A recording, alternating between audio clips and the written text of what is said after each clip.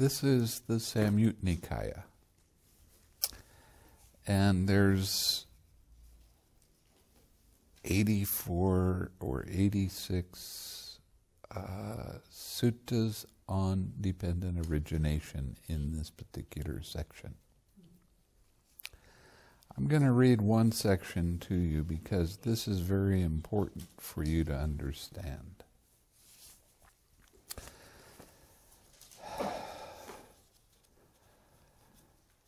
At Savatthi, monks as to those ascetics and Brahmins who do not understand these things, the origin of these things, the cessation of these things, and the way leading to the cessation of these things. Now, what I just said was here's the Four Noble Truths in the links of dependent origination. And what are those things that they do not understand, whose origin they don't understand, whose cessation they don't understand, and the way, the way leading to, who, to whose cessation they don't understand? They don't understand aging and death, dukkha, first noble truth. They don't understand its origin, Second noble truth. They don't understand its cessation. Third noble truth. And they don't understand we leading to the way of cessation. Now, they don't understand all of the links of dependent origination. These are the things they do not understand. These I do not consider to be ascetics among ascetics or Brahmin among Brahmin. And these venerable ones do not, by realizing for themselves with direct knowledge, in this very life, enter and dwell in the goal of asceticism or the goal of Brahmanhood. So that says if you don't understand the links of dependent origination, you're not going to attain Nibbana. And that's a lot different than the explanation of other people that use commentaries. In particular, the um, the practice is being taught in Burma known as straight vipassana.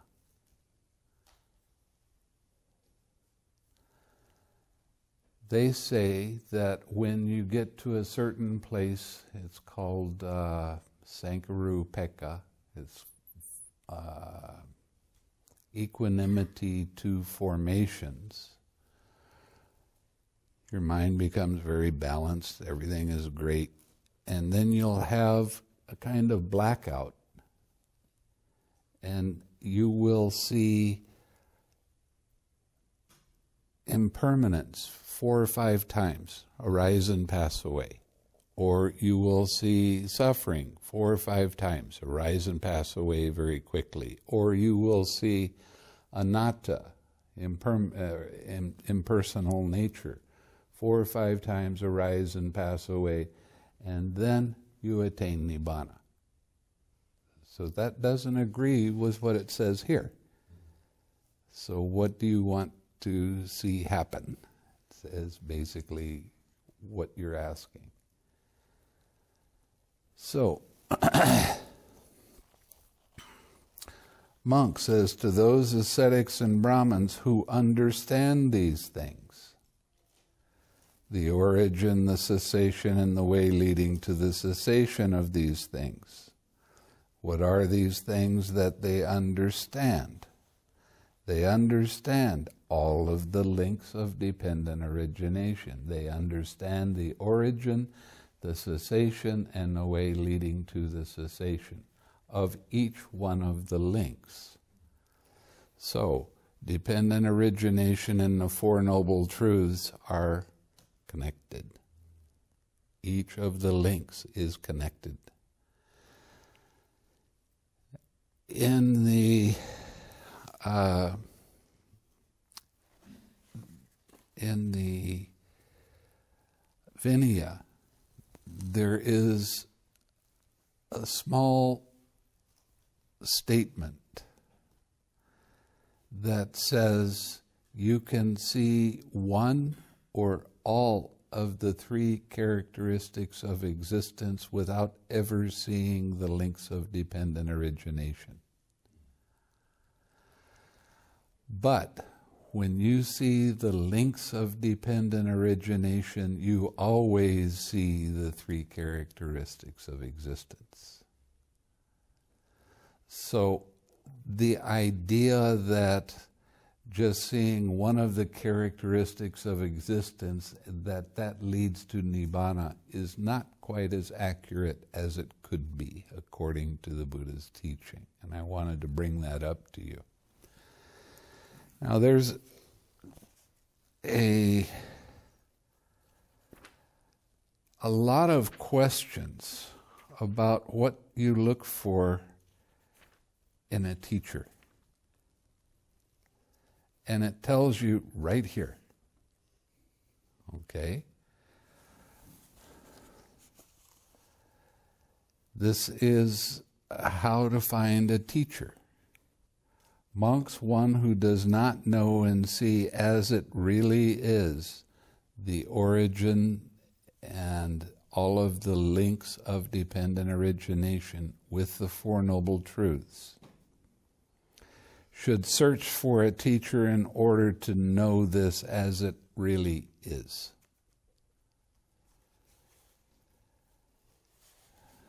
So, this is telling you right here that if you want to find a true teacher, the teacher has to be able to explain how the links of dependent origination work.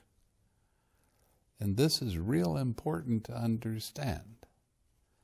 This is the backbone of the Buddha's teaching. This is it. And this leads directly to the experience of Nibbana. So I wanted to bring that up so that you would understand that from the very first talk that I gave in the instructions, I was telling you about the links of dependent origination. And a lot of you now understand that pretty well. And that makes me happy. And it's not because I'm so special, it's because you took the time to see how it works yourself. You are your own teacher. The guide can bring up some points for you to check out, but ultimately you have to do it yourself. You are your own teacher. And uh, many people, when they get done with retreat, they thank me for being their teacher, and I'm not. I thank them for for working so hard, for understanding this, so that you can have a liberating experience. But you have to understand you've done it yourself. I might bring up some suttas that make things clearer. I might say some things that make it a little easier to understand, but still, I'm not your teacher, and I don't like being put on a pedestal. okay? Because once you get on a pedestal, it, it falls when you get off the, you fall off the pedestal for one reason or another. I don't like that. So I am your, what is called Kalyanamitta. I am your spiritual friend. And I will help you in any way I can so that you can have these kinds of experience. So. in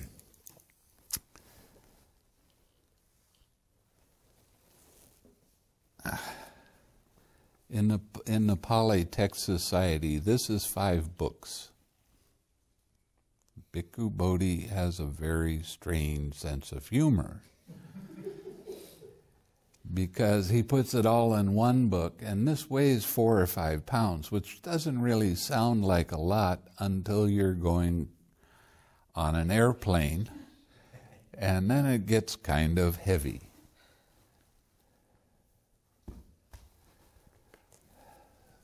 And this was three books.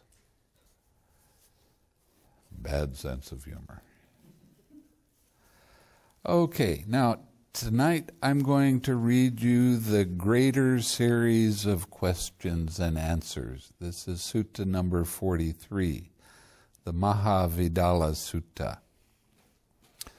Thus have I heard on one occasion the Blessed One was living in Savatthi in Jeta's Grove, Anathapindika's park. Then, when it was evening, the Venerable Mahakotthita rose from meditation and went to the Venerable Sariputta and exchanged greetings with him. Uh, he didn't actually go just one person to one person and talk. He had students with him. That's why he asked these kind of kind of questions. Mahakotthita was always sitting in meditation. He was the foremost meditator. And he knew all these answers that he's talking to Sariputta about. But because they, they both had their students there, they would ask these questions. And they're actually quite interesting. When this courteous and amiable talk was finished, he sat down at one side and said to Venerable Sariputta, One who is unwise, one who is unwise is said, friend, with reference to what is this said, one who is unwise? One who does not wisely understand one who does not wisely understand, friend, that what it, why is why it is said, one who is unwise. And what does one what doesn't one wisely understand? One doesn't wisely understand this is suffering. One wise, does not wisely understand this is the origin of suffering.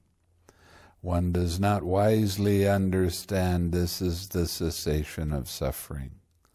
One does not wisely understand this is the way leading to the cessation of suffering. Now, what he's talking about with not wisely understanding is how the Four Noble Truths and the links of dependent origination are intertwined with each other.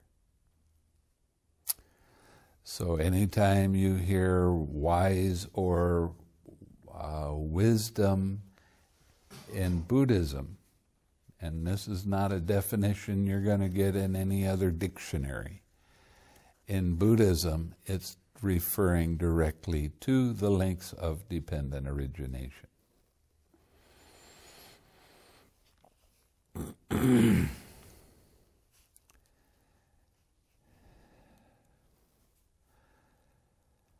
That's why it is said, one who is unwise, saying, Good friend, the Venerable Mahakotthita delighted and rejoiced in the Venerable Sariputta's words. Then he asked a further question. One who is wise, one who is wise, is said, friend, with reference to what was this said, one who is wise. I've already told you the answer to this. One wisely understands, one wisely understands, friend. That's why it is said, one who is wise. What does one wisely understand? One wisely understands this is suffering. One wisely understands this is the origin of suffering. One wisely understands this is the cessation of suffering. One wisely understands this is the way leading to the cessation of suffering. One wisely understands. One wisely understands, friend. That's why it is said, one who is wise. Consciousness. Consciousness is said, friend, with reference to what is consciousness said. It cognizes. Cognizes, friend. That's why consciousness is said. What does it cognize? This is pleasant. It cognizes this is painful. It cognizes this is neither painful nor pleasant. It cognizes, it cognizes, friend. That's why consciousness is said. Wisdom and consciousness, friend, are these states conjoined or disjoined? And it is, is it possible to separate each of these states from the other in order to describe the difference between them? Wisdom and consciousness, friends, these states are conjoined, not disjoined. And it is impossible to separate each of these states from the other in order to describe the difference between them. For what one wisely understands, that one cognizes, and what one cognizes, that one wisely understands. You got it?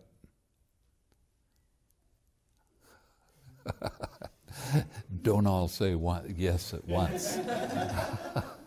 Let's do it again.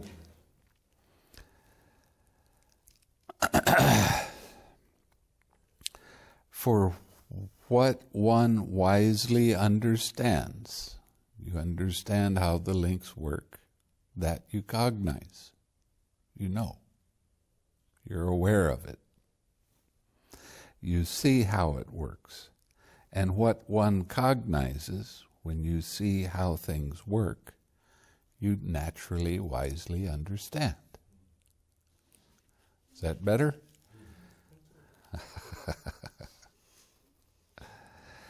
and it is impossible to separate each of these states from the other to describe the difference between them because they are conjoined. That's how they work. So if one sees it and now you're wisely understanding, but if you um, read it and you don't experience it directly, but you're experiencing it through literature, is that wisely understanding or no? It depends on your understanding at the time. When you think deeply about this, and you hear someone either read it or say it, or you read it yourself, and you deeply, truly do go, ah, yeah, that's exactly right. It can be through word of mouth that you become a Sotapanna, the first stage of awakening, by your understanding exactly what the sutta is saying. Doesn't happen very often because, well, we're kind of slow. I know I am. I'm kind of slow, so I figure everybody else is going to be about the same. So we have to go through the practice of it. Okay? What is the difference, friend, between wisdom and consciousness, these states that are conjoined, not disjoined? The difference, friend, between wisdom and consciousness, these states that are conjoined, not disjoined, is this Wisdom is to be developed, and consciousness is to be fully understood. Feeling. Feeling is said, is said, friend, with reference to what is feeling said. It feels. It feels, friend. That is why feeling is said. What does it feel? It feels pleasure. It feels pain. It feels neither pleasure nor pain. It feels, friend. It feels. That is why feeling is said. It's not my feeling. It's just a feeling that arises because the conditions are right for it to arise. And this is the same thing with every link of dependent origination. Okay? Perception. Perception is friends is, is said, friend, with reference to what is perception said. It perceives. It perceives, friend. That's why perception is said. What does it perceive? It perceives blue, it perceives yellow, it perceives red, it perceives white. These are the colors in the Buddhist flag, if you were wondering.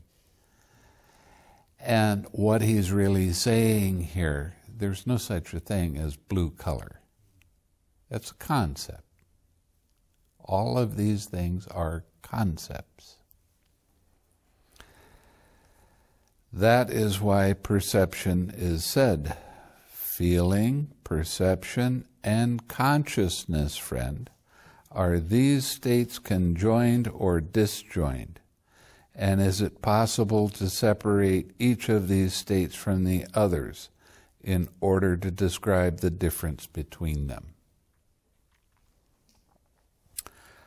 Feeling, perception, and consciousness, friend, these states that are conjoined, not disjoined, and it is impossible to separate each of these states from the others in order to describe the difference between them. For what one feels, that one perceives, and what one per, what one perceives, that one cognizes. Okay? That is why these states are conjoined, not disjoined, and it's impossible to separate each of these states from the other in order to describe the difference between them. Knowledge by mind alone. Friend, what can be known by purified mind consciousness, released from the five faculties? Friend, by purified mind consciousness, released from the five faculties, the base of infinite space can be known. The base of infinite consciousness can be known. And the base of nothingness can be known. Friend, what does one understand? With what does one understand a state that can be known? Interesting question. Friend, one understands a state that can be known with the eye of wisdom. What does that mean? No? The eye of wisdom is seeing whatever arises as part of an impersonal process. Because everything in dependent origination is impersonal. Right? So when you let go of craving, what are you seeing? The eye of wisdom is there because you see without thinking, you cognize very easily because your mind is pure. Your mind is bright. Your mind is very alert without any coloring of craving. That is the eye of wisdom. Oh, a lot of people go to Kathmandu, and there's a very famous stupa that's there that has a pair of eyes and has a, a curly Q thing coming right in the middle. And that's what it is, is showing you. See with the eye of wisdom. That little curly Q thing is actually uh, one of the marks of a great man. And what it is, is it's a very long hair that grows right there. And it was white and it was very, very soft. But it was one long hair. Another interesting thing about the Buddha is that the Buddha had blue eyes. That's kind of an interesting little phenomena that not, be, not many people really understand. Now, you know, there's a lot of different Buddha images, and they're doing this. What is the artist trying to show you that the Buddha is talking about? First noble truth, second noble truth, third noble truth, fourth noble truth.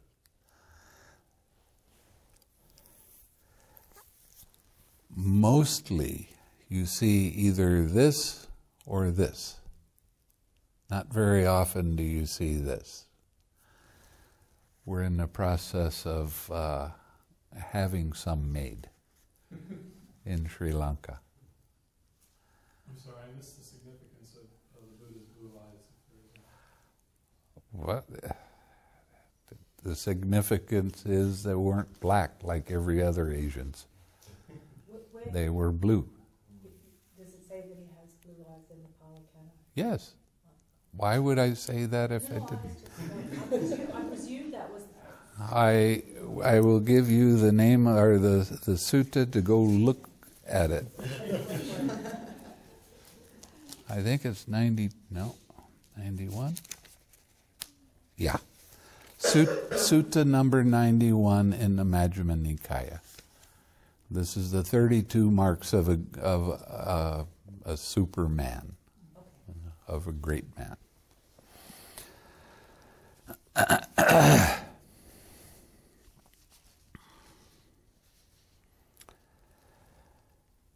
Friend, what is the purpose of wisdom? The purpose of wisdom, friend, is direct knowledge. Its purpose is full understanding. Its purpose is abandoning. Interesting, huh? Right view. Friend, how many con- conditions are there for the arising of right view? Friend, there are two conditions for the arising of right view the voice of another person and wise attention.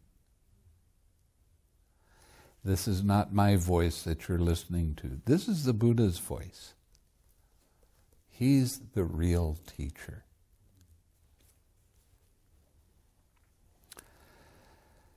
These are the two conditions for the arising of right view. Friend, how many factors is right view assisted when it has deliverance of mind for its uh, path and deliverance of mind for its path and fruition? When it has deliverance by wisdom for its path, and deliverance by wisdom for its path and fruition. Friend, right view is assisted by five facu- faculties, five factors, excuse me. When it has deliverance of mind for its path, deliverance of mind for its path and fruition. When it has deliverance by wisdom for its path, and deliverance by wisdom for its path and fruition. Here, friend, right view is assisted by virtue, keeping your precepts without breaking them. Learning, discussion, serenity, and insight. What am I teaching you? Tranquil wisdom, insight, meditation, serenity, and insight. A lot of you have had great insights. And they're not like the insights of the Mahasi method. The insights you have is how you personally see that you cause yourself pain and you decide, we ain't going to do that anymore. Let's let that one go and you, you, you have these insights, and they happen all the time. And it turns into kind of, and I wanted to call this, this, this meditation this kind of a name. I wanted to call it Oh Wow Meditation. but I got vetoed. so we're going to start up a magazine called Oh Wow. Right view is assisted by these five factors, has deliverance of mind for its fruit, uh, its path, deliverance of mind for its path and fruition. It has deliverance of mind by wisdom for its path, and deliverance by wisdom for its path and fruition.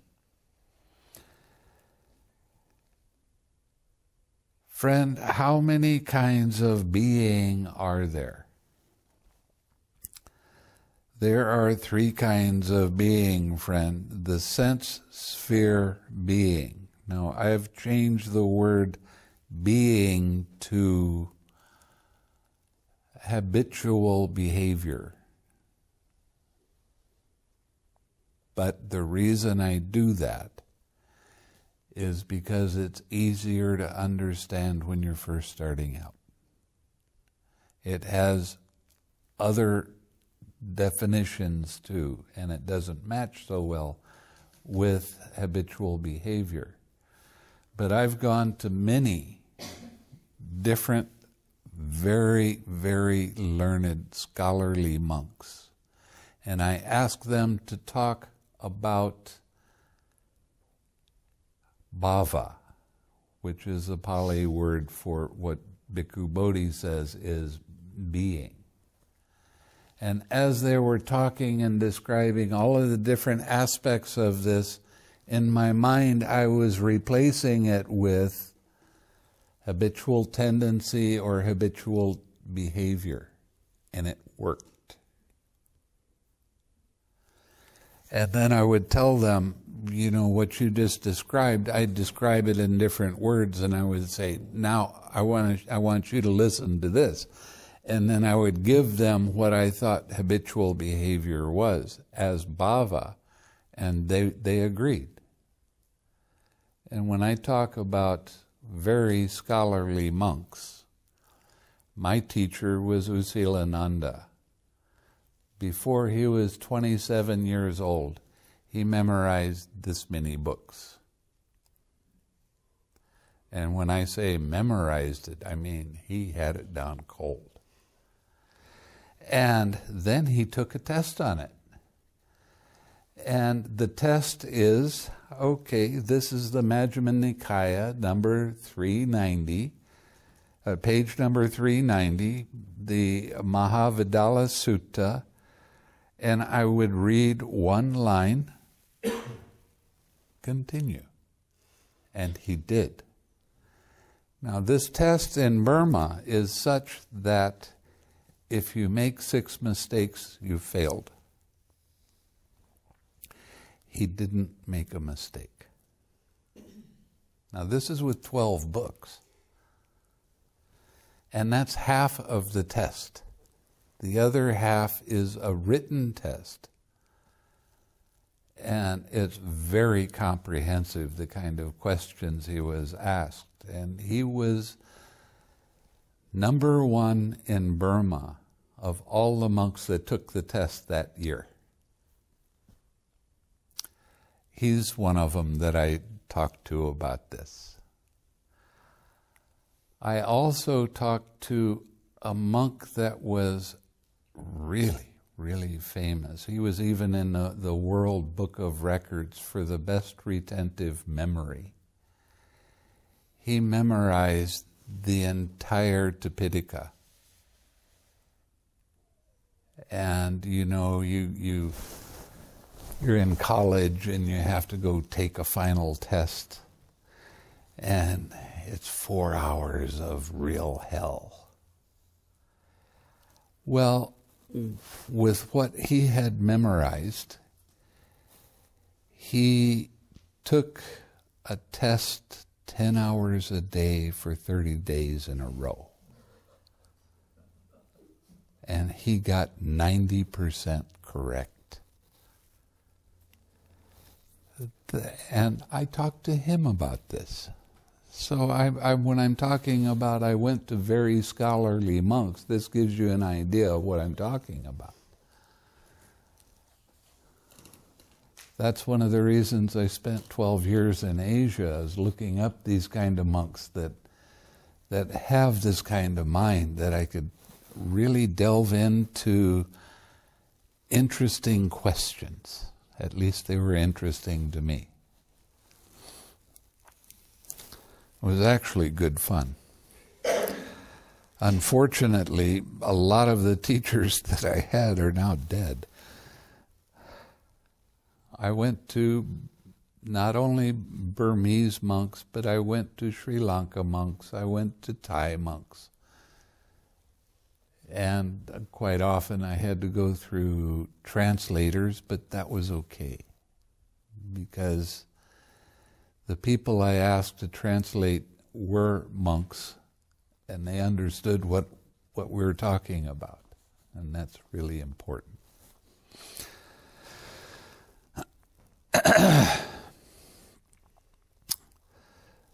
so, there is the sense sphere being, the immaterial being, or the fine material being.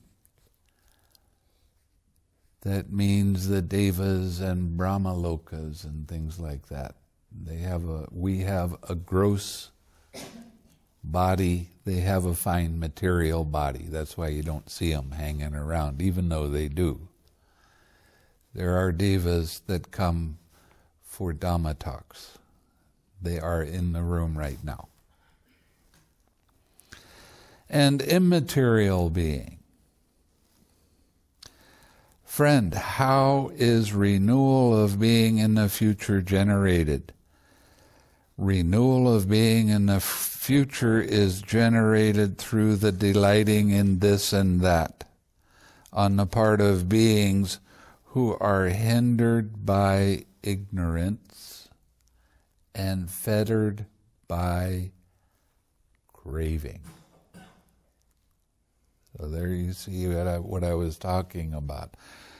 Ignorance and craving. Those are the two things that we want to let go of. Relax. 6R. As much as you can remember. Keep 6Ring. Now, I insist upon saying that a lot in the Dhamma talks, and the reason I say it a lot is maybe when you get out into your daily life, you'll even remember it. And maybe, by chance, use it. When you start to have a headache, what do you generally do with that? Start looking for some aspirin? When I was in Burma, I started to get a real deep headache. And I went to them and they gave me an aspirin, one. I cut it in half I used it and it screwed up my meditation for the rest of the day. So I kind of back away from using things like aspirin, or any drugs for that matter. I much prefer the natural approach to a headache. You start to feel a headache, start relaxing the tightness in your neck, start relaxing the tightness in your head. Watch how it disappears.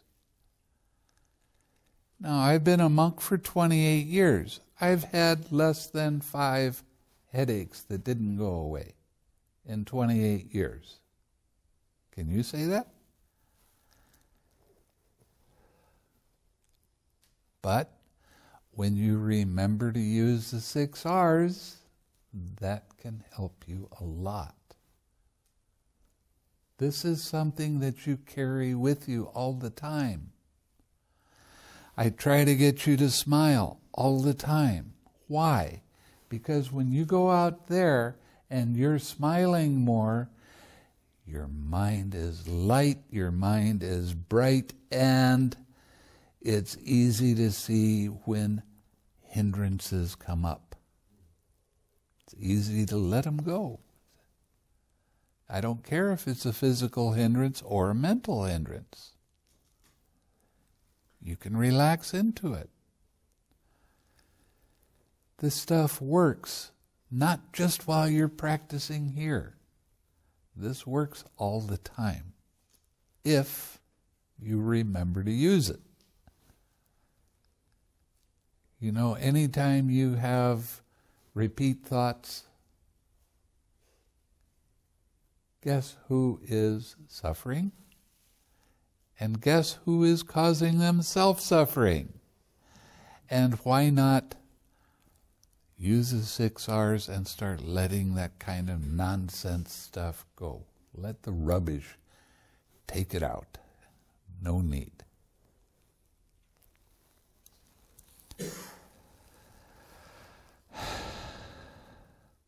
Friend, how is renewal of being in the future not generated? Can you guess?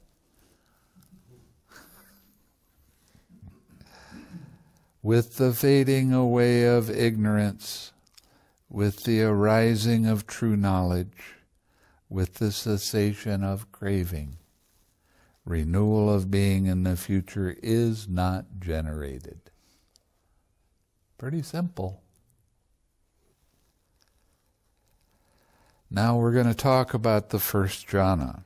What is the first jhana? Here, friend, quite secluded from sensual pleasures, secluded from unwholesome states, a monk enters upon and abides in the first jhana, which is accompanied by thinking and examining thought with joy and happiness born of seclusion.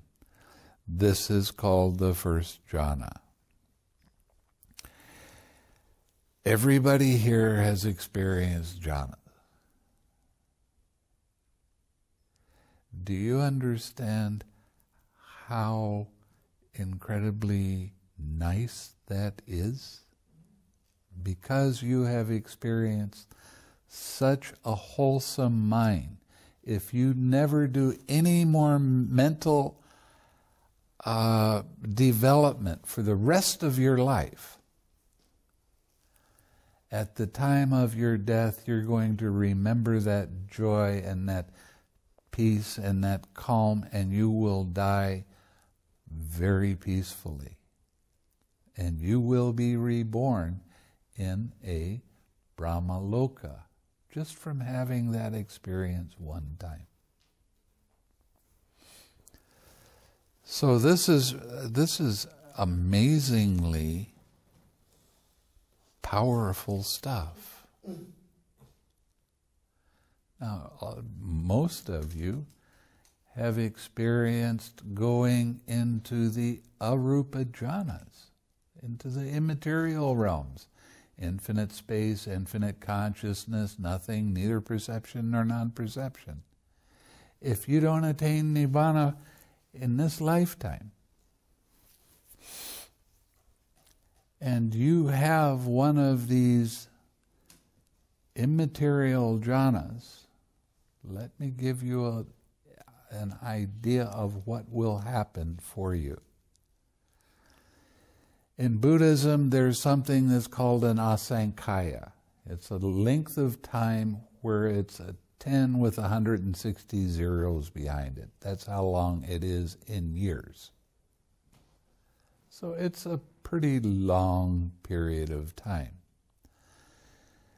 Now, the universe, what it does is it expands for one asankhaya, and then it stops for one asankhaya, and then it contracts for one asankhaya, and then it stops for one asankhaya. Now, these four asankhayas are called it just a mahakappa. And my mind just went blank for a moment. Now, a mahakappa is 10 with 560 zeros behind it. That's how long one mahakappa is in years. When you get into the arupa jhanas, if you go no higher in this lifetime than infinite space, you will be reborn in an immaterial realm that lasts 20,000 mahakappas. That's how much good merit that you're making for yourself right now. If you go no higher than infinite consciousness, that's 40,000 mahakappas. You go to the realm of nothingness, 60,000 mahakappas.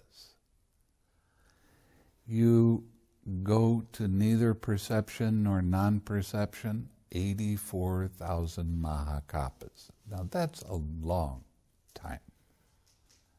I mean, a real long time. That's how much merit you're making by doing this practice right here, right now.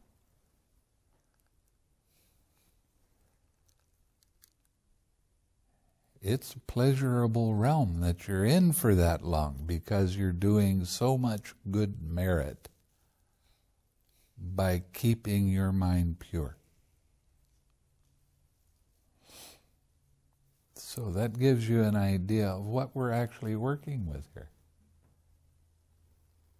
I tell you, okay, radiate loving kindness for um, all the different beings, and then start radiating loving kindness for all beings in all the directions, which basically means the fourth jhana.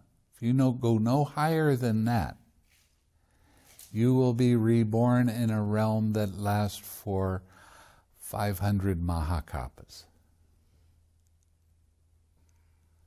It's a lot of merit that you're making by purifying your mind right here, right now. And of course, I want to push you to go further so you don't get off the wheel. You don't have to be reborn. But this is this is what what you're you would experience if you don't ever do any more in this lifetime. You've already got this experience.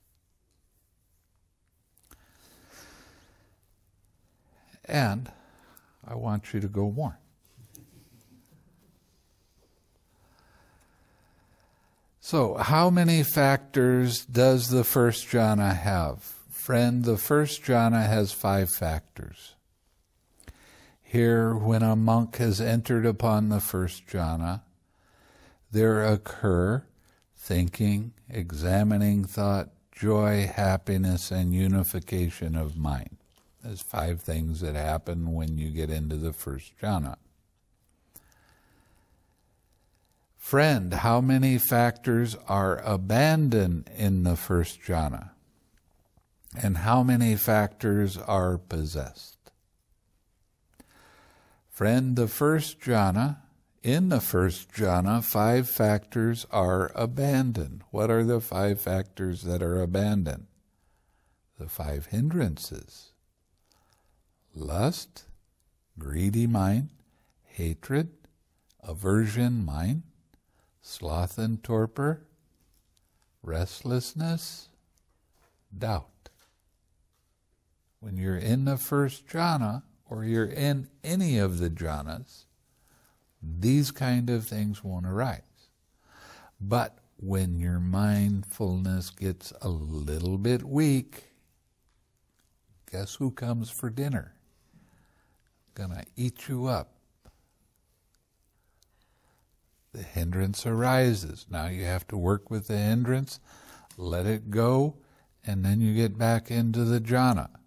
But the hindrances are a necessary part of the practice because every time your mindfulness gets weak for whatever reason and a hindrance arises, it's helping you to go deeper. And it's teaching you how this process works.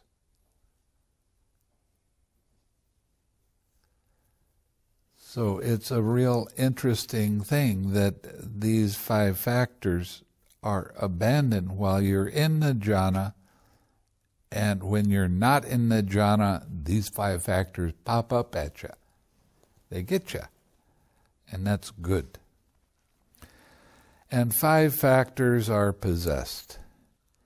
Here, when a monk has entered upon the first jhana, sensual desire is abandoned. Ill will, aversion, is abandoned.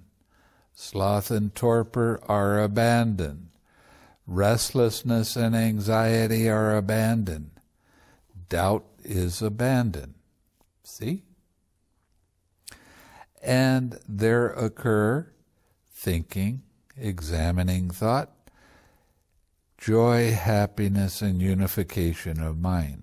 That is how the first jhana, in the first jhana, five factors are abandoned and five factors are possessed.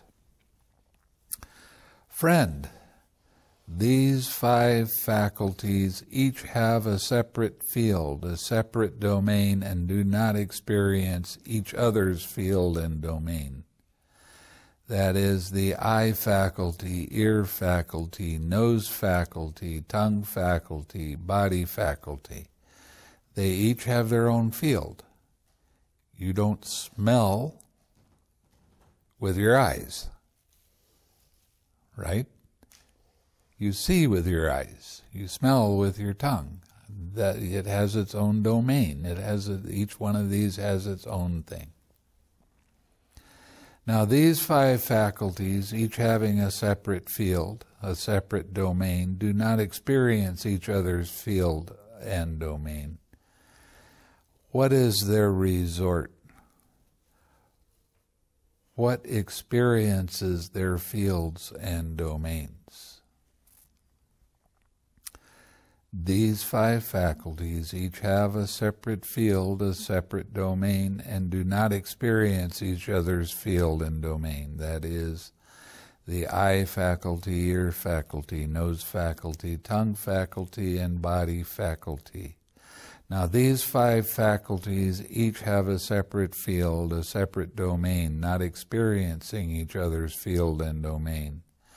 They have mind as their resort mind experiences their fields and domains. That's why there's six sense doors. Friend of these five faculties, that is the eye faculty, ear faculty, nose faculty, tongue faculty, and the body faculty, what do these five faculties stand in dependence on? interesting question.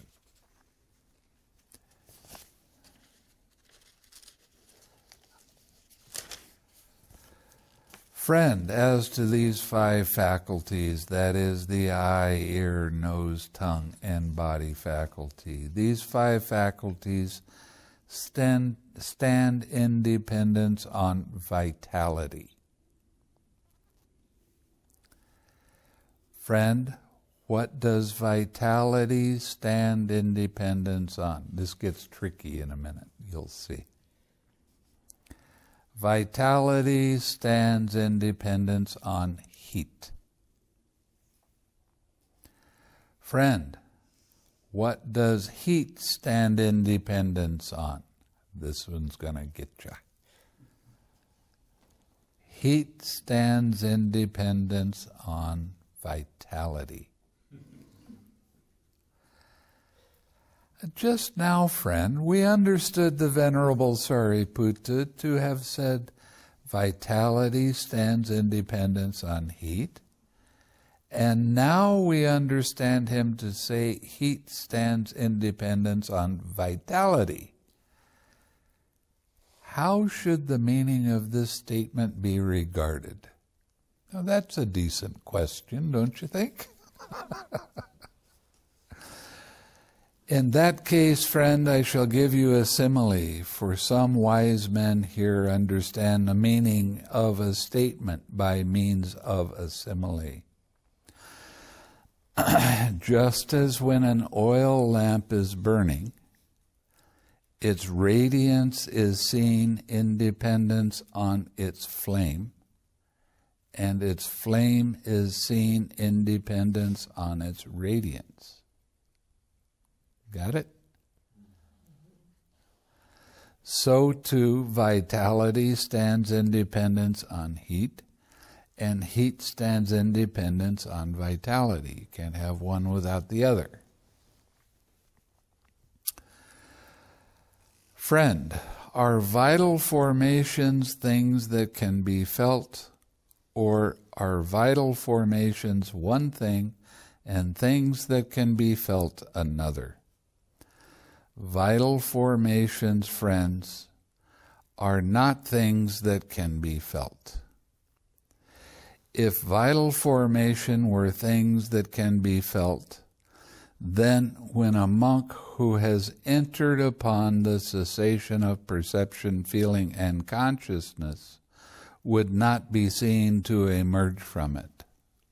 We'll explain that in just a bit because vital formations are one thing and things can be, that can be felt another.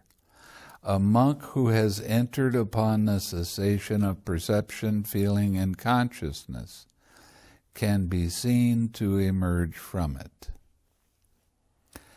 Friend, when this body is bereft of how many states is it then discarded and forsaken and left lying senseless like a log? Friend, when this body is bereft of three states vitality, heat, and consciousness, it is then discarded and forsaken, left lying senseless like a log. Friend, what is the difference between one who is dead who has completed his time, and a monk who has entered upon the cessation of perception, feeling, and consciousness? Interesting question. Friend, in this case, one who is dead, who has completed his time, his bodily formations have ceased and subsided, his verbal formations have ceased and subsided, his mental formations have ceased and subsided. His vitality is exhausted. His heat has been dissipated. His faculties are fully broken up. In the case of a monk who has entered upon the cessation of perception, feeling, and consciousness, his bodily formations have ceased and subsided. His verbal formations have ceased and subsided. His mental formations have ceased and subsided, but his vitality is not exhausted. His heat has not been dissipated. his faculties become exceptionally clear. That is the difference between one who is dead, who has completed his time, and a monk who has emerged upon the cessation of perception, feeling, and consciousness. Now, some uh, some of you, when you've come in for an interview, I say, your face is really bright. What do you think I'm seeing? I'm I'm seeing the vitality, and I'm seeing how clear your mind is. And there are some people that their face gets so bright and so clear that you don't need to have light in the room because you you see and there is a glow around them. Their face becomes amazingly clear and bright and really wonderful to see now, when you get to the third stage of awakening called anagami, you will be able to make a determination to sit in meditation in the cessation of perception, feeling, and consciousness for up to seven days. And right here it says anybody that's sitting in this, their, their features become exceptionally bright and clear.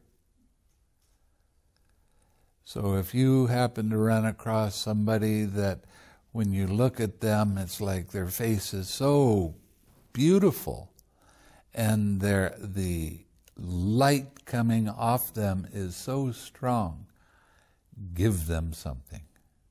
They have just been sitting in the highest amount of merit that you can make as a human being. And giving them a gift,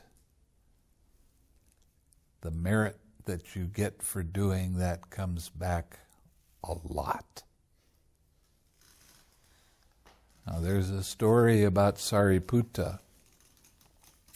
He was an arahat. He could sit for up to seven days, just like I was saying. And he would do that occasionally. And he would sit in neither perception, or he would sit in the cessation of perception, feeling, and consciousness for seven days.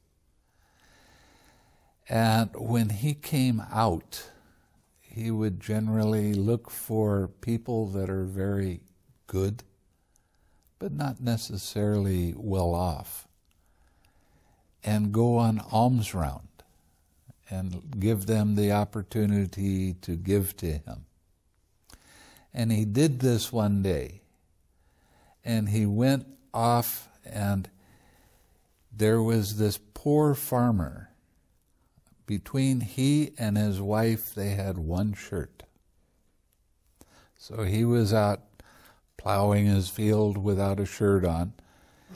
And his wife had made some, some food for him for for lunch, and he came. She came to give him the food, and she did. And he saw Sariputta, and he decided it was more important to give the food that little food that he had to Sariputta. And also, his wife came with some water, and she donated some water to Sariputta. And Sariputta sat down and ate the food and drank the water and got up and left. And they turned around and looked at the field that he was plowing, and it had turned to gold. And he didn't know what to do with all that gold. So he went to the king and he said, I've got a lot of gold out in my field how about if you help me and and uh, find a place to store it until I can figure out what to do with it. So the king set out some people with carts, some of his helpers and such. And as they were picking up the gold, they were saying, This is a king's gold. And it turned back to dirt. And they saw that that happened and they said, We can't say that. This is this farmer's gold.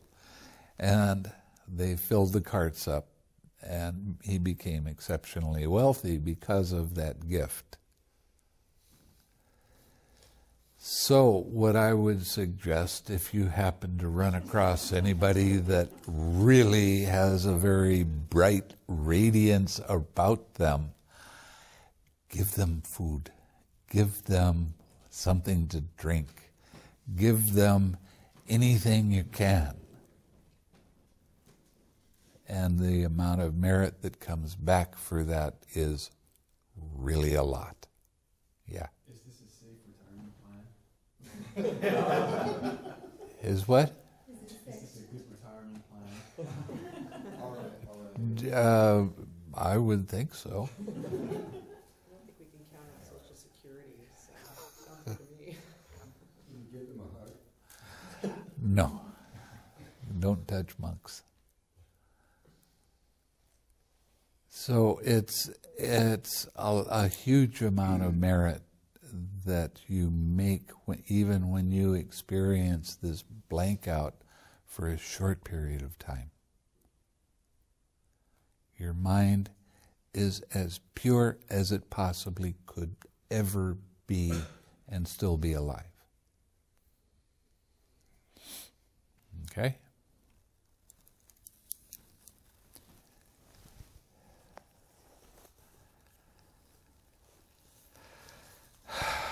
Now we're going to talk about deliverance of mind.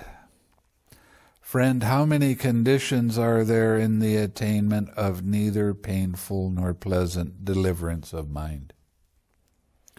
Friend, there are four conditions for the attainment of neither painful nor pleasant deliverance of mind. Here, with the abandoning of pleasure and pain, with the previous disappearance of joy and grief, a monk enters upon and abides in the fourth jhana, which has neither pain nor pleasure, and purity of mindfulness due to equanimity. These are the four conditions for the attainment of neither painful nor pleasant de- deliverance of mind. Friend, how many conditions are there for the attainment of the signless deliverance of mind? That's going into the cessation of perception, feeling, and consciousness. Friend, there are two conditions for the attainment of the signless deliverance of mind non attention to all signs and attention to the signless element. These are the two conditions for the attainment of the signless deliverance of mind. Friend, how many conditions are there for the persistence of the signless deliverance of mind? There are three conditions for the persistence of the signless deliverance of mind non attention to all signs, attention to the signless element, and the prior determination of its duration. So before you go into this state, you make a determination, depending on how much time you have at the time, that you're going to sit for four days, 12 hours, 16 minutes, 31 seconds and then you come out at exactly that time. And it goes up to seven days. Over seven days, your vitality disappears, your heat dissipates, and body dies.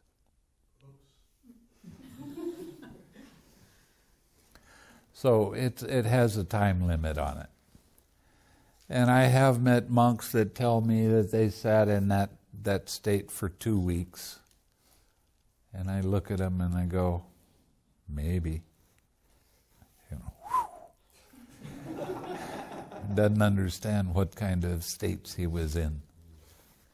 So my yoga teacher said he sat uh, in uh, Arupa jhanas for up to two weeks. Arupa jhanas, Yeah. possible.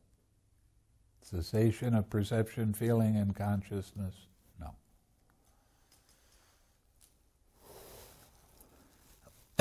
And even that I would question. Somebody sat for two weeks. That's, it's not easy sitting that long.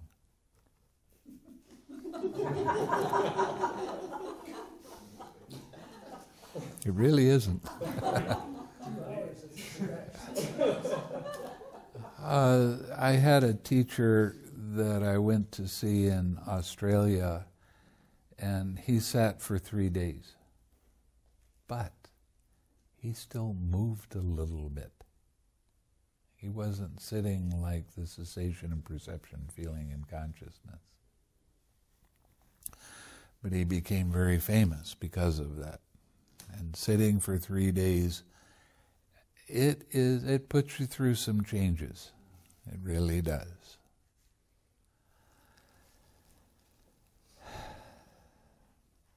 Friend, how many conditions are there for the emergence of the signless deliverance of mind? There are two conditions for the emergence of the signless deliverance of mind attention to all signs and non attention to the signless element. These are the two conditions for the emergence of the signless deliverance of mind. Friend, the immeasurable deliverance of mind, the deliverance of mind through nothingness, the deliverance of mind through voidness, the signless deliverance of mind. Are these states different in meaning and different in name, or are they one in meaning and different in name only?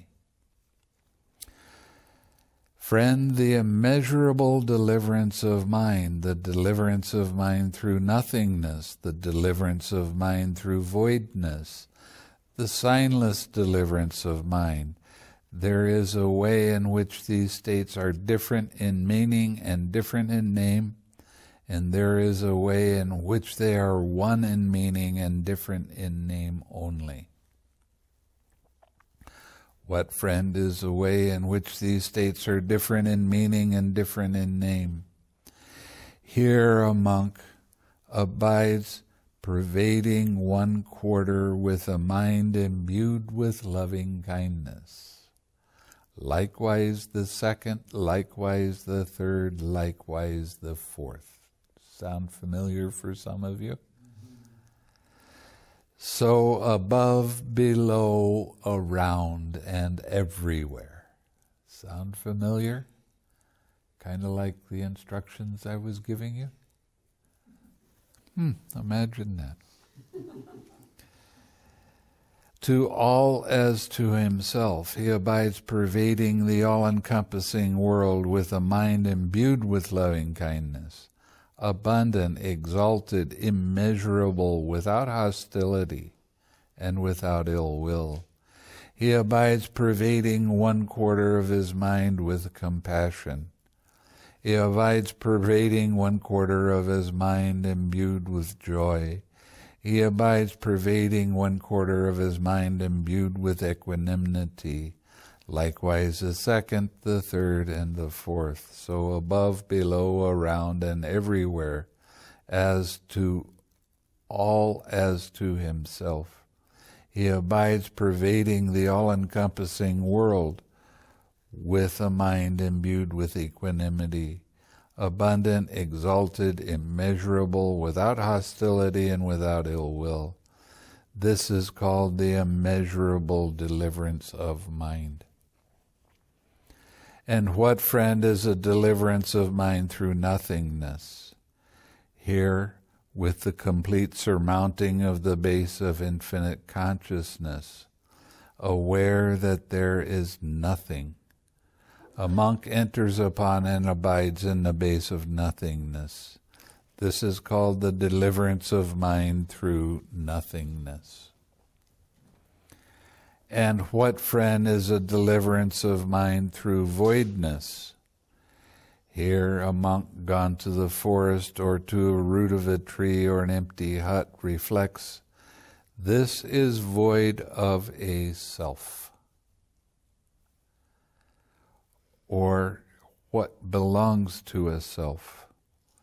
This is called the deliverance of mind through voidness.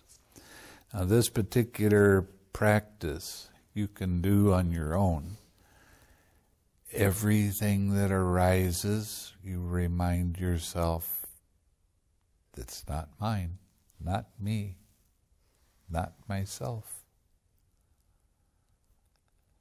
And you don't have to use those three statements. One of the things that I, I, I practiced this for a while, just so I could be able to teach other people. And the statement that I used was, Where am I? Am I these thoughts? Am I these feelings? No. Where am I? Everything is impersonal.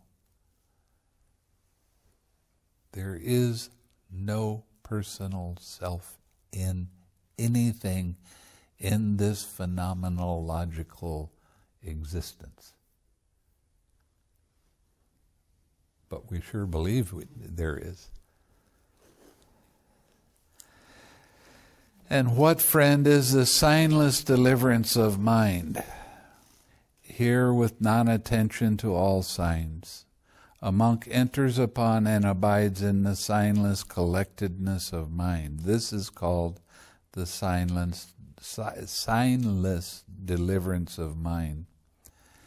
This is the way in which these states are different in meaning and different in name. And what, friend, is the way in which these states are one in meaning and different in name only? Lust is a maker of measurement.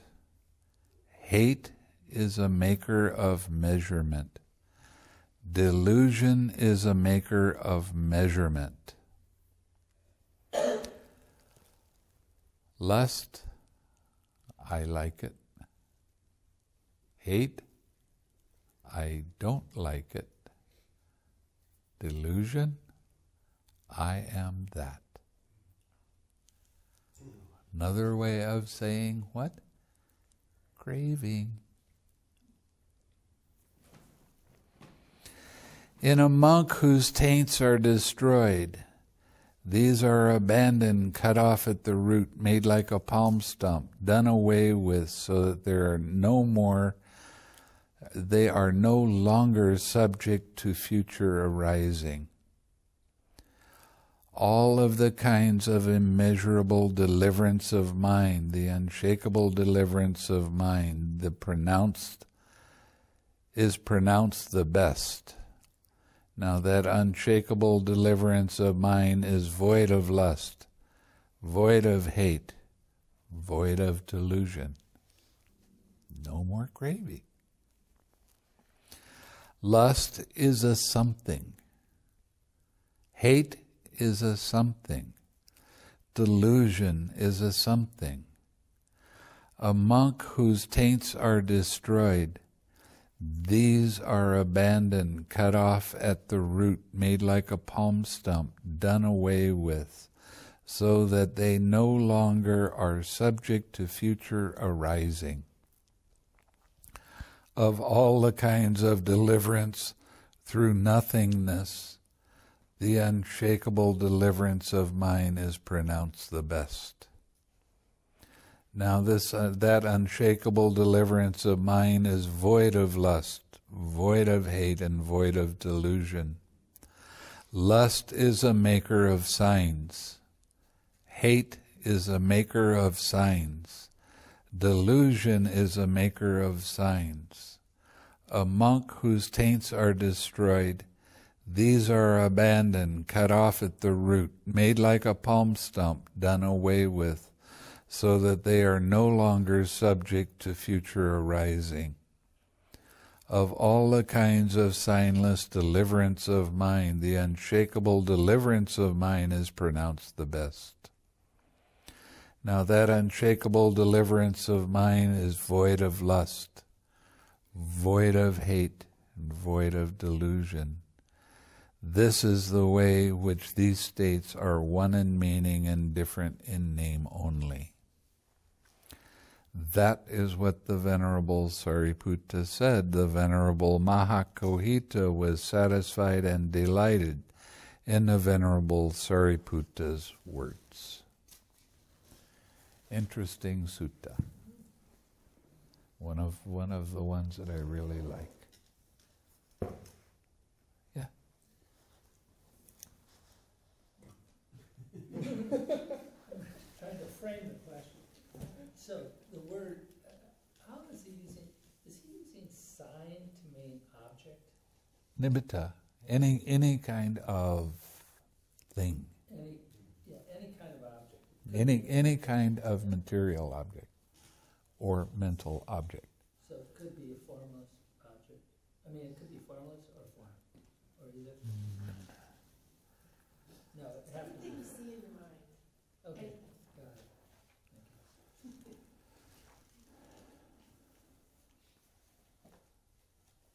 So what are you really asking? I was just relating it to what I've been experiencing. Ah. And because there are states where there are signs and objects, and then states, they disappear. But there's still something there. There's something there, but Yeah. it's formless. So that's what I was saying. Well, mind is formless, right? Yeah. And you take mind as your object of So it's meditation. Right. It's still a sign. Any kind of movement or disturbance is a sign. When you have that cessation of perception, feeling, and consciousness, that's the signless. There's no signs that arise. When you come back, you're real happy because of that. And that's how you see the links. So then I, any, any consciousness, um, formation, that, any, any consciousness is, is then a formation or a sankhara. If it's an object, it's a sankhara. Well, if there's. Well, time- uh, well, just let let me think it through for a minute because there's a lot of different definitions here that I have to work with.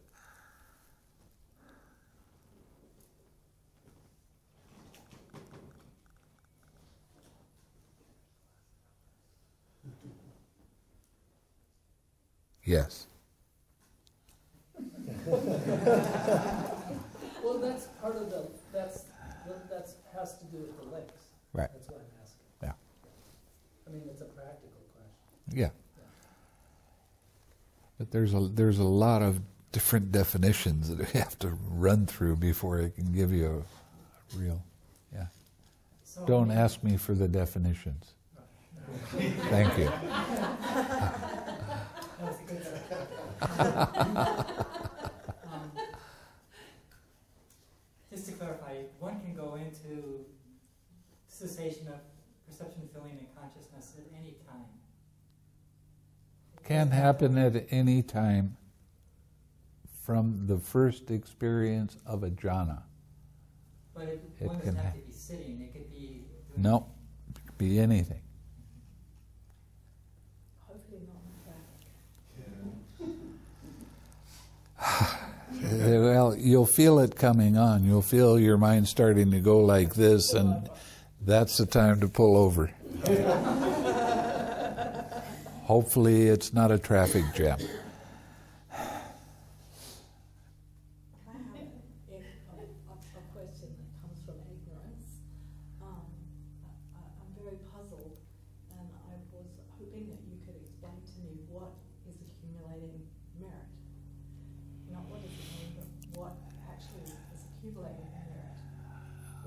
merit itself.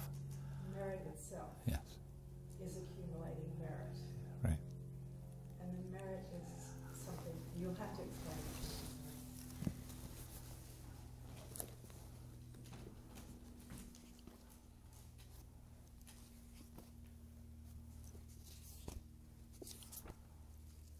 I really could do this better with glasses on.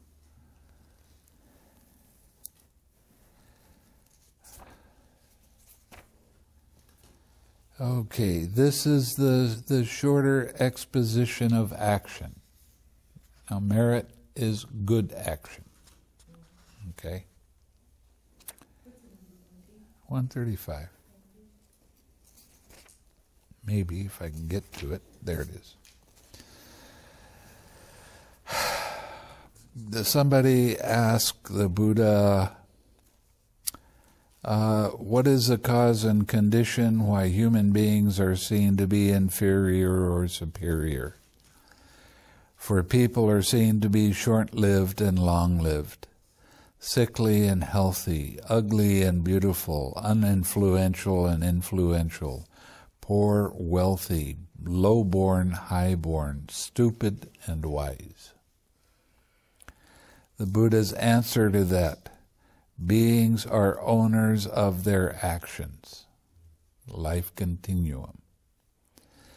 Heirs of their action. They originate from their actions, are bound to their actions, have actions as their refuge.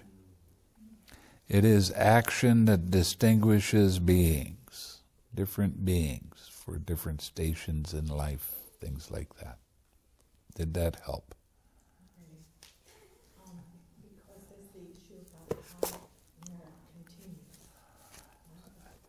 It continues by itself because of the actions. From lifetime to lifetime. Yep. Okay,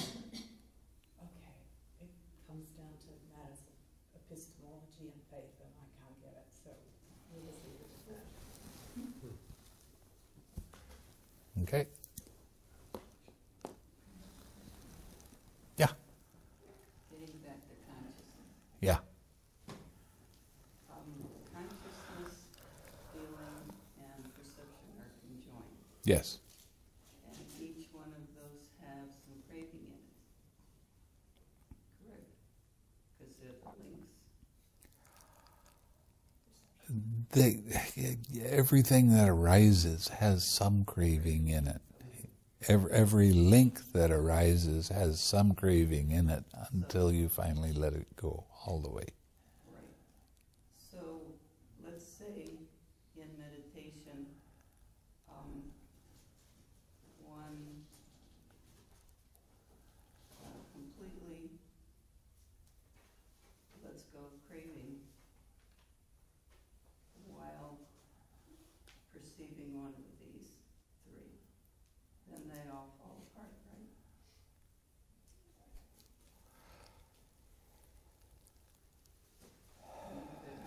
In, in essence, yes. And then you get into cessation of perception, feeling, and consciousness. Can, yes. Yeah.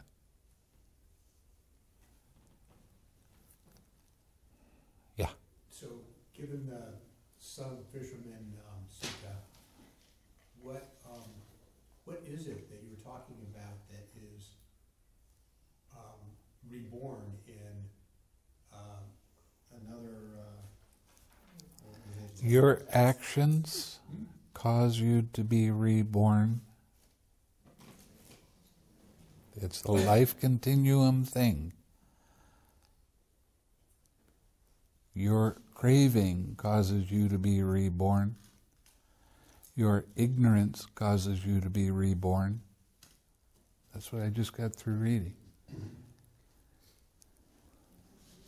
So it's, i- i- in those um, things that you were saying, well, you have this many thousands of years here and there, Yeah, that- that's all, that's all common. yeah, absolutely. Who is you?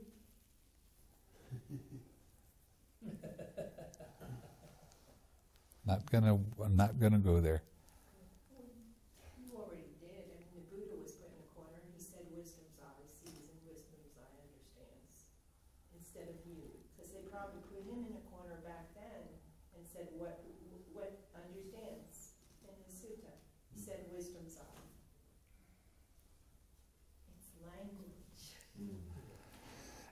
That's why I don't. Uh, I, I don't try to discuss what nibbana is. How can you talk about something with only conditioned ideas and words and when it's an unconditioned state?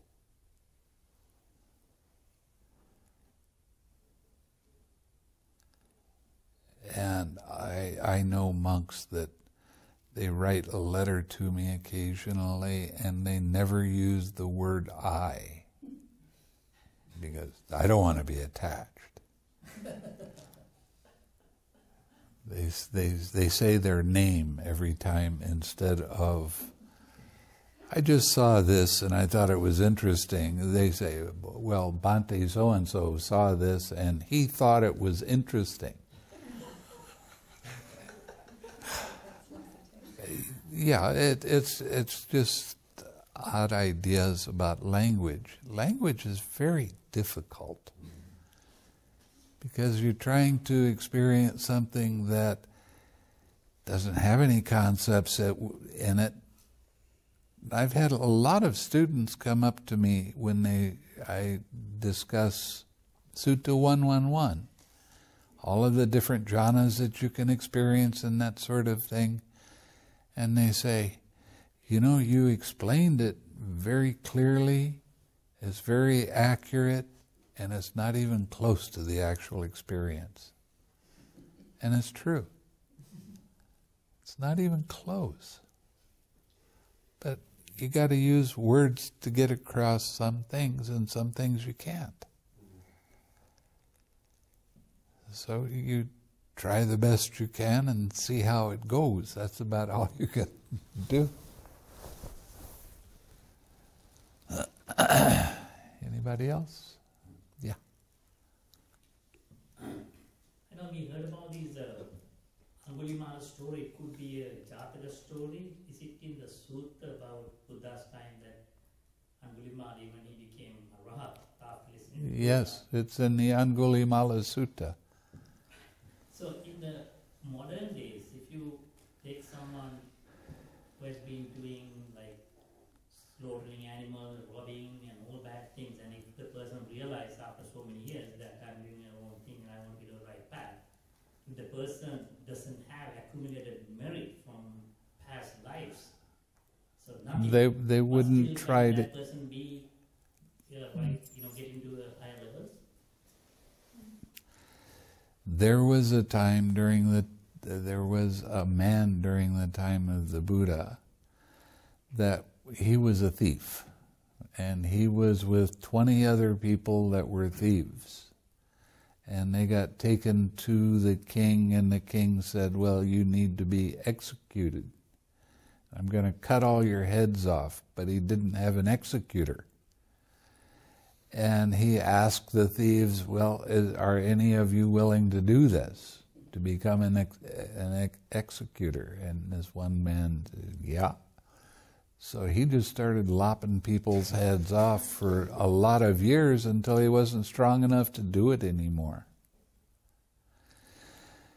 Now, it, it was during the time of the Buddha, and one time, Sariputta was out on alms round and he saw Sariputta and he put a little bit of rice, I mean, not very much, just a little bit in his bowl. And when he died, they went to the Buddha and said, Where was he reborn? He said he was reborn in a, in a heavenly realm, in Devaloka. I think it was uh, probably the uh, Tavatimsa heaven. And he said, He killed hundreds and hundreds of people. How can he be reborn there? And he remembered at the time of his death the happiness he experienced by sharing some food with Sariputta. That doesn't mean at some point later he's not going to suffer from all of those killings. So, you know, you hear about all these people, these rich people, and they're really nasty, and they they cause all kinds of problems for other people and they keep getting richer and richer and you go well that karma should be coming back at them. They should be killed for this or that.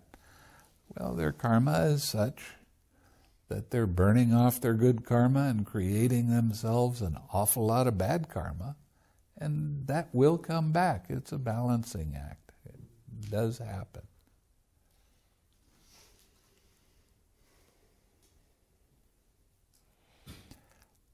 the trick is everybody wants to know when. and it depends when the conditions are right. Good and bad action will take care of itself.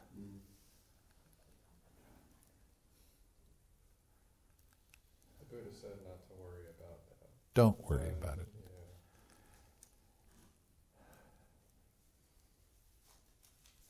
Does everything that happened to you a result of karma? Would something happen that's not a result of karma? Karma.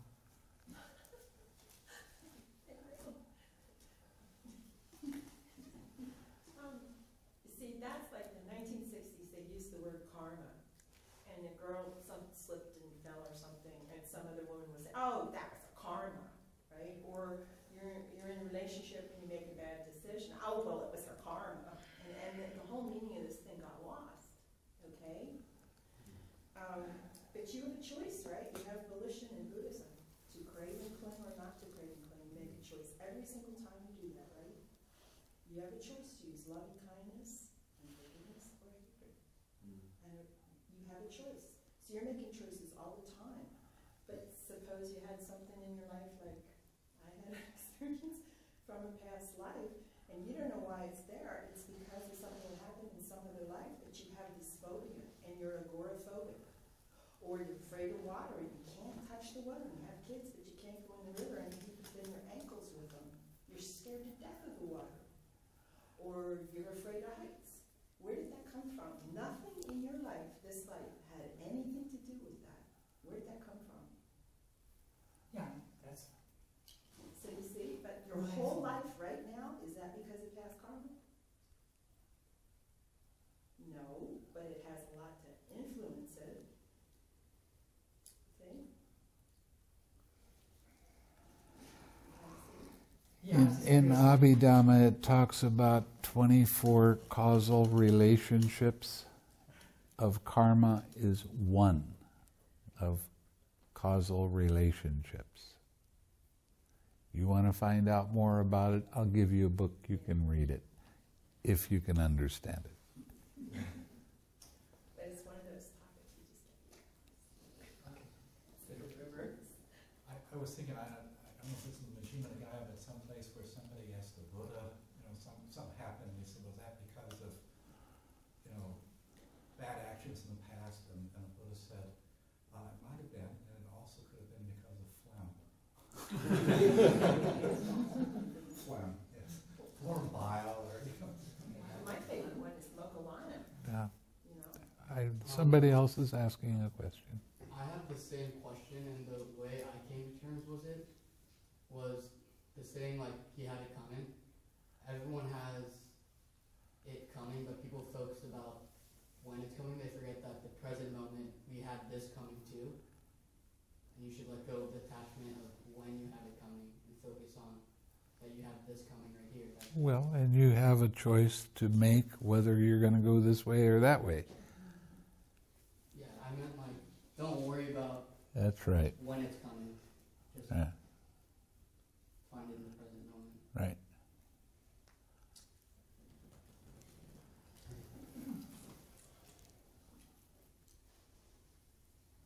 If you experience Nibbana, does that probably clear up some of the confusion for you about what gets reborn?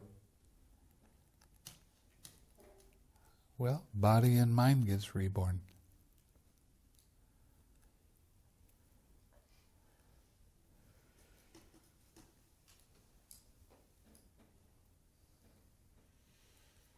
What condition is it going to be reborn in? Depends on past action. When the conditions are right, things happen in a particular way.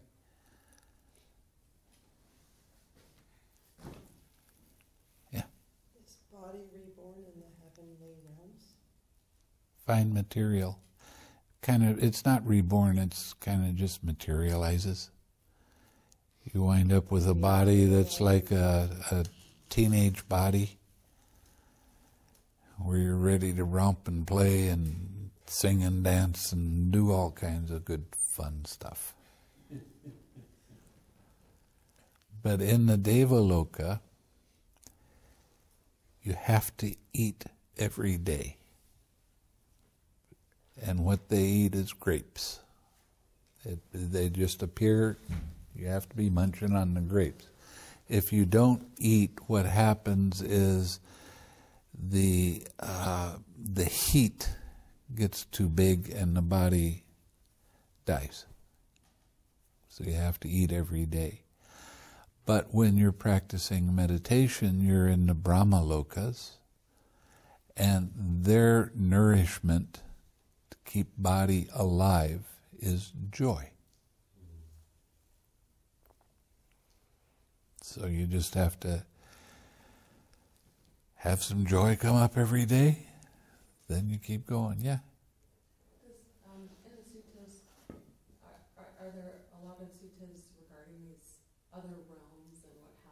There's a few, but I mostly let all that stuff go because it's not interesting to me. The first sutta in the Majjhima Nikaya, it goes through every one of the 32 realms of existence, or 31 realms of existence. Boring. So anybody that, that gets a copy of the Majjhima Nikaya, I told them, do not read, start out by reading the first sutta. If you try, you'll put the book down and never pick it up again. And it, that's really true. So just from a pragmatic perspective, I have a question as far as, so is this something that in experience the Buddha has basically visited these realms You can see it for yourself. When you get to certain places in your meditation, you can go visit these.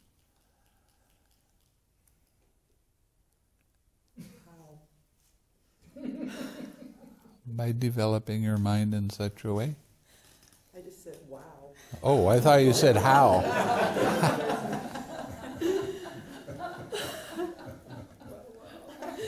Yeah, wow, wow. Yeah. You know, I, I just want to recommend the introduction to the Majjhima Nikaya Yeah. was written by Bhikkhu Bodhi. And he did and a It's one of the finest pieces of writing about the Buddha and what the Buddha taught and the impact he had in this world. And um, if you don't read anything else, the introduction is rather it's a bit sev- lengthy, 75 pages or yeah, something like it that. is a probably the single most wonderful work on the subject I've ever read. And some of his ideas don't match what it says inside the suttas. Some of his ideas are influenced very strongly by commentary. So you have to read it with a, I, I a, a grain of salt. Yeah, I noticed that too. Yeah. He puts that parenthetically in many cases. Yeah. But it is good. It is good. Yeah, next to the Next to concept and reality, it's one of the better better things to read. what the Buddha taught by uh, Rahula was also one of the five. Yeah, that was one of the first books I ever wrote or ever read on on Buddhism. Concept and Reality is the book that's coming from Sri Lanka when they fill the container. Yeah.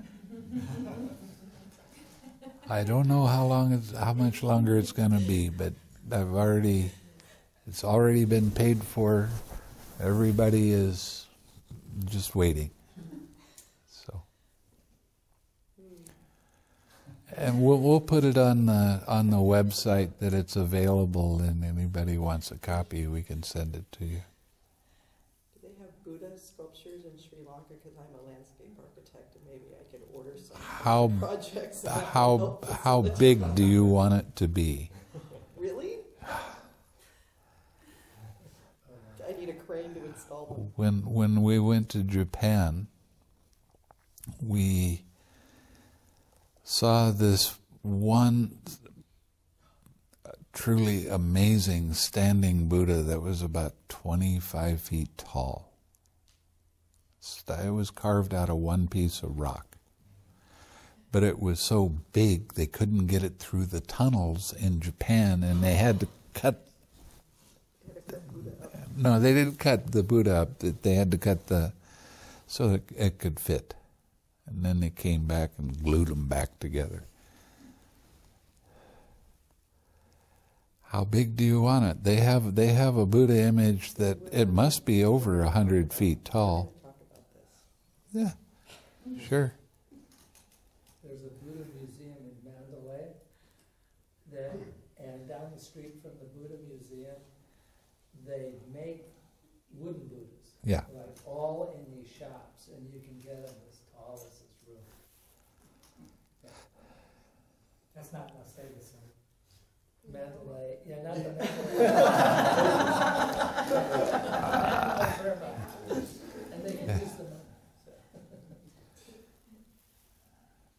yeah, and they ha- they have a lot of that are made out of marble if you want them.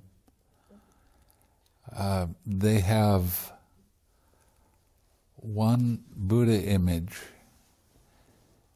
that it got overgrown by the forest, and they've been walking beside it just on a little trail for a few hundred years. And somebody, for some reason, went inside and they looked up and they saw this Buddha image. It's 40 feet high, it's a lying Buddha, 40 feet high, 135 feet long.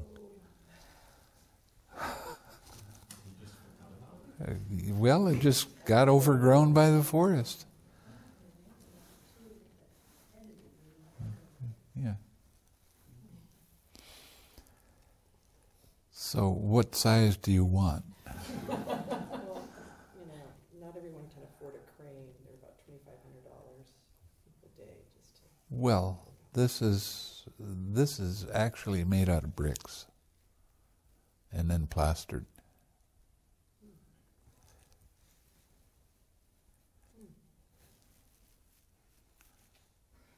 So uh, I've ordered two sitting Buddhas from Bali, and they're six feet tall. It takes four people to pick it up. That's about as big as I'm interested in. Yeah, I have like a three-foot Buddha, but I, I'd love a, a ten-foot Buddha. It'd be wonderful. Do it. Depends where you get it. The sitting the sitting Buddha that I'm getting is well they don't ship by weight because they're shipped by boat. That makes it easier. It's more volume. The sitting Buddha is to buy it outright would cost somewhere around two hundred dollars.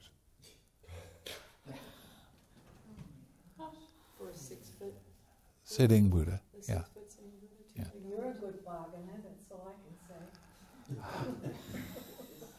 As someone who's worked They in the should shop. have referred to David, how much was it to ship? Well, thousands.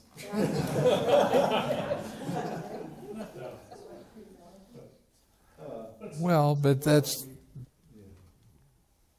Pallets full of stuff. yeah. yeah, I, I get a lot of stuff when I go to All this stuff. And then you truck it to Missouri. I'm telling you. That, that'd cost more than shit. No, there's cement. Cement. Cement. Four people, did you say? Yeah. American Buddhists? It, it might be cheaper to bring the artisans over. Let's just learn how to make them ourselves. You know, we got the pink granite there and, and the, and the, the, the big stones are there, I mean, the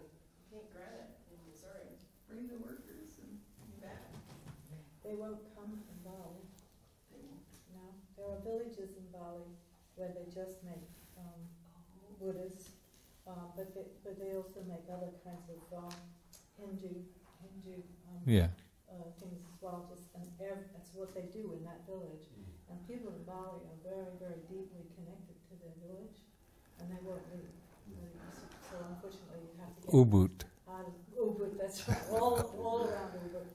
You'd have to get people from somewhere else. But I mean, you could start a school of training artisans in Missouri to um, make Buddha images because they're quite in demand. Imagine. Sell them to all those local churches. Maybe not in demand in Missouri, but in California there. Boulder Creek. Yes, that's right. I think you'll find that there's a big, lots of them being made in China. Yeah, but I don't like the Chinese faces. Every uh, every country, they they make the Buddha image different, and one of the most beautiful to me is the Indian Buddhas, because they have a Western face. He was an Aryan. He had blue eyes and golden skin.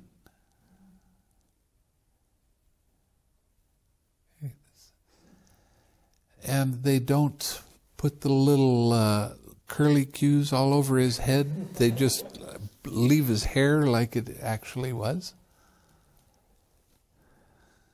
Now, I understand why they, they put those curly cues on his head, because that's supposed to represent the pineal gland,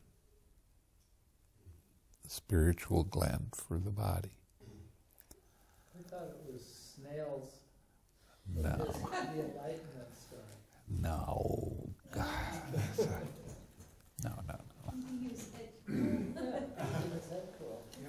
While he was sitting in Bodh Gaya for two No. weeks after he was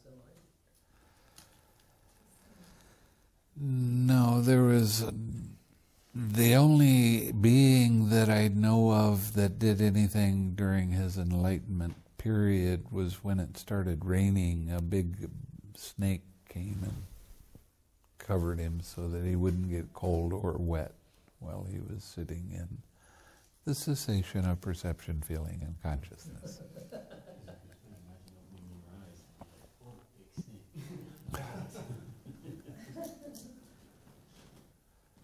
Okay? Let's share some merit.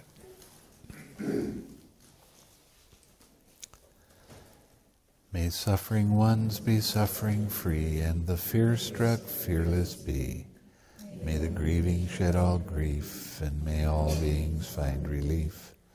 May all beings share this merit that we've thus acquired for the acquisition of all kinds of happiness. May beings inhabiting space and earth, devas and nagas of mighty powers, share this merit of ours. May they long protect the Buddha's dispensation. Sa.